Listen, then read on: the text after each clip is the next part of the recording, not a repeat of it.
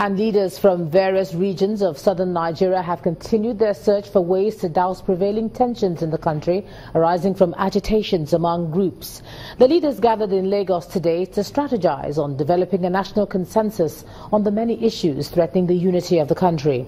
Restructuring of the nation was at the center of their deliberations, and they say the consultations will continue. We are taught that a communique would have been issued at the end of this meeting, but the meeting was so, so, um, so serious that um, we could not conclude some of the decisions on how to proceed on restructuring.